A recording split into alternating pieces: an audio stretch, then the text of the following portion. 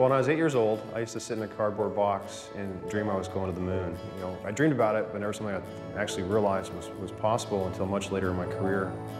Commander John B. Herrington is widely recognized as the first Native American to fly in space. Originally from Oklahoma, the commander achieved a Master of Science degree in aeronautical engineering in 1995 and is currently a PhD student at the University of Idaho. He is a decorated naval officer with over 4,000 flight hours logged in 30 different types of aircraft.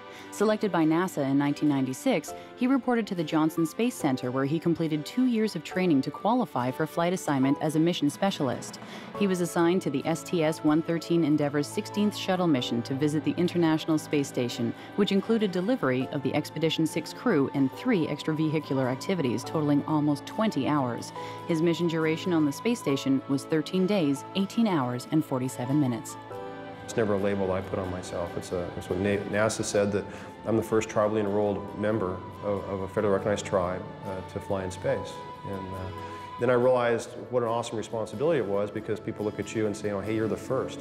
We have a small group of Native graduate students that I work with. They all have an influence.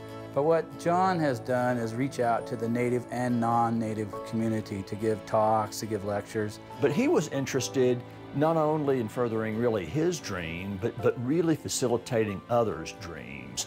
He has a wonderful presence. He is able to articulate the opportunities and dreams that he had as a young person. And I think the Dreamcatcher Foundation recognizing um, him as an individual is, is another way to share his story with others.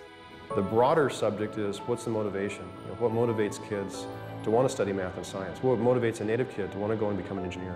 I want somebody to look at me and say, no, that guy is just like me. Wow, if he can do it, why can't I?